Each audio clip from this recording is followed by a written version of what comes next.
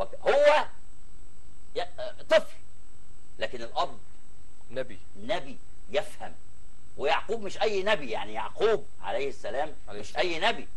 قال يا بني لا تقصص رؤياك على إخوتك فيكيدوا لك كيدا إن الشيطان للإنسان عدو. هو عايز يبرأ اولاده إن إذا عملوا مش هيبقى إيه؟ من تلقاء نفسهم يعني. خد بالك. قول لي. وكذلك يجتبيك ربك ويعلمك يشتبيك من- بقى جت اهي إحنا اللي إحنا قلناها من شوية. يشتبيك يعني إيه بقى؟ يعني هو مصطفيك أصلا. اللي هو أعلى من الاصطفاء درجة أعلى من الاصطفاء أيوه الاصطفاء خد بالك يا عماد. الاختيار. في الكتب. ربنا ما بيختارش يا جماعة.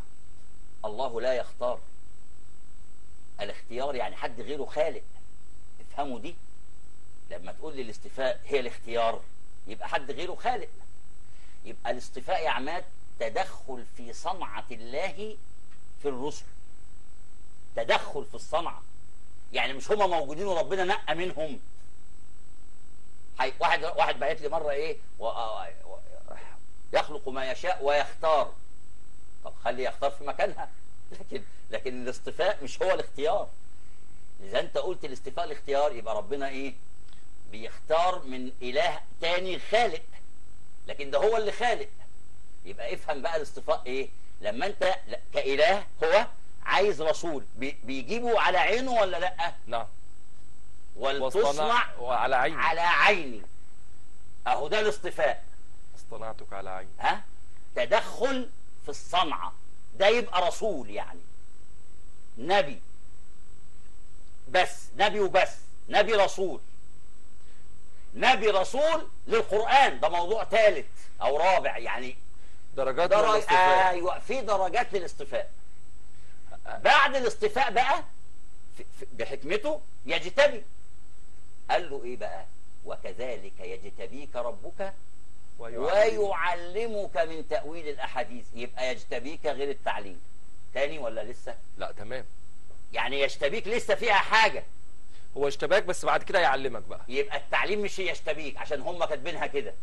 إن من الاشتباك إنه علمه. لا أنت سرحت. مش أنت هو. أنت سرحت. يجتبيك و و و ويعلمه.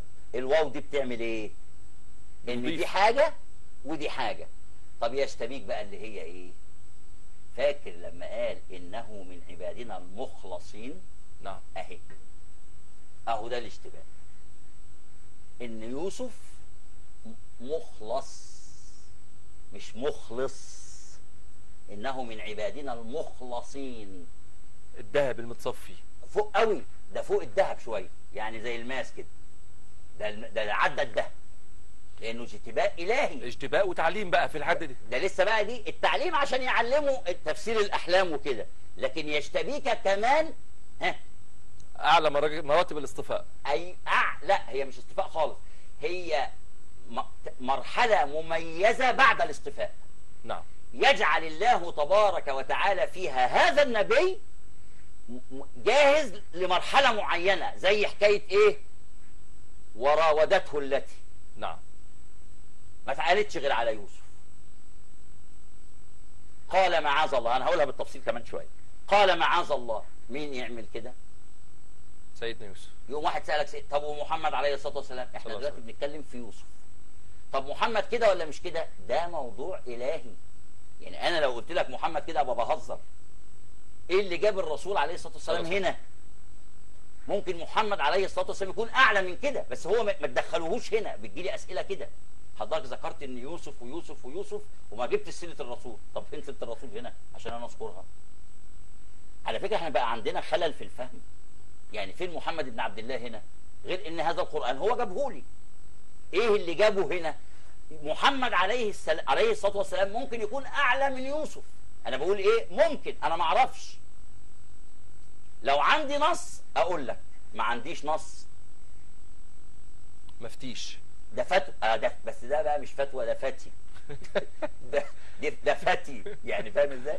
شوف. وكذلك يجت- يجتبيك ربك ويعلمك.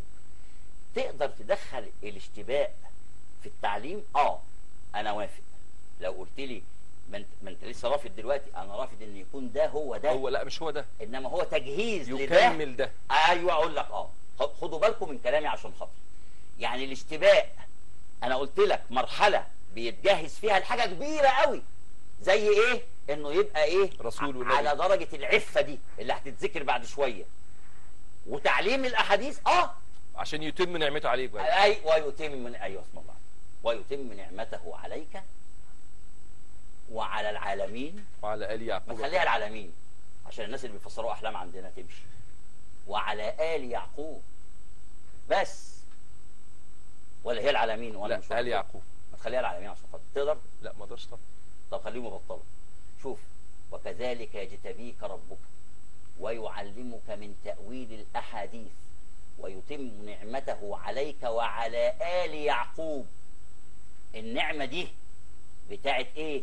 الاجتباء والتعلم. وتعليق وتع... وإن ربنا يعلمه تأويل الأحاديث. هو ومين؟ وآل يعقوب. كما أتمها على أبويك من قبل. إبراهيم وإسحاق. فين إسماعيل؟ ما تذكرش. ليه؟ يبقى ما كانش عنده ال ال- ما عندناش دي.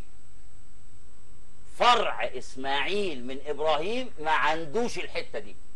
بس الحمد لله اليومين دول ظهرت ناس بت عندها الحتة دي فجأة كده. وأنا عايزهم يقولوا لنا اتعلموها فين؟ إحنا والله العظيم إحنا بنحب التعليم. يعني لو قالوا لنا اتعلموها فين أنا متهيألي وانت تيجي معايا نروح نتعلم الحتة دي. لا أكيد طبعا. شوف الآية عاملة إزاي وإحنا بنعمل إيه؟ يا عماد في ناس عايشة حلمت كذا حصل كذا مش هيحصل كذا. أنا حلمت كذا مش خارج النهاردة أنا كده. هذا كفر بالله تبارك وتعالى. كفر بالله. واحد يسمع رؤية يقول هيحصل كذا. ده إيه بقى؟ ده إيه؟ قول. خايف. ده إيه؟ لما أنا أقول ح. لا حاجة طبعا ما ينفعش. سا سوف. لا ما ينفعش. ده كله كده. هتخلفي بنت. لا ده- ده كده دخل في ال يا باشا كفر انت خايف تقولها؟ آه. ده كفر. وناقل الكفر كفر. لازم الناس تصحى. الآية بتقول إيه؟ وكذلك يجتبيك. مين؟ الله. يعني بس هي ربك. نعم. إيه الفرق. انت عشان انت قلتها. أنا هقولها عشان انت قلتها. لو انت ما قلتهاش والله ما كنت هقولها. شوف الله لها دلائل وتوصيفات وتوقيعات. وربك دلائل أخرى وتوصيفات. يعني حتة الاشتباه هنا جاية في التربية مش في الألوهية جاية في الربوبية. نعم عشان كده الرب ما قالش و- يجتبيك الله. وأظن كنا هنفوتها كلنا ما حدش ياخد باله يعني. لكن يجتبيك ربك. ويعلمك ربك نعم. الفاعل ربك. من تأويل الأحاديث. قولها تاني يا عماد انت عشان أنا عايز أسمعها تاني. وكذلك يجتبيك ربك ويعلمك من تأويل الأحاديث. قولها من غير من كده. وكذلك يجتبيك ربك ويعلمك تأويل الأحاديث. إيه الفرق؟ إن مفيش حد هيقدر ياخد تأويل الأحاديث كله. من بالظبط. حتة من تأويل انت الحديث هتاخد جزء. الجزء اللي يمشي لك حالك. يعني كمان يوسف عليه السلام. ما خدش إيه؟ الكل. كل تأويل الأحاديث. إحنا قاعدين على بقى بنتلقى تليفونات بناخد كل تأويل. الأحاديث. يعني على الرحب والسعة. ما بقولش معرفش يعني يوسف لو اتسأل في حتت هيقول معرفش عشان يوسف إيه؟ واخد من من إنما إحنا ما بنقولش معرفش كمل.